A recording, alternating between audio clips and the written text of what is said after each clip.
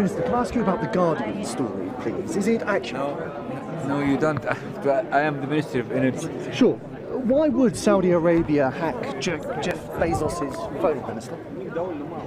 Well, I think you're asking the wrong question and the wrong place, and in the in the while I'm just finishing, uh, and all what you're doing now is just trying to distract the whole notion. Is Jack Bezos is, is Jeff Bezos a legitimate target?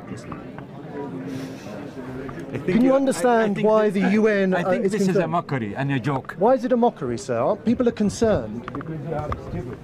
I- I'm stupid, sir. Yes. Minister, Your, Your Highness, people are concerned about cyber attacks.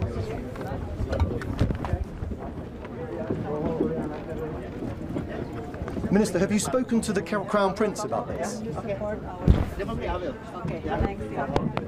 Your Highness?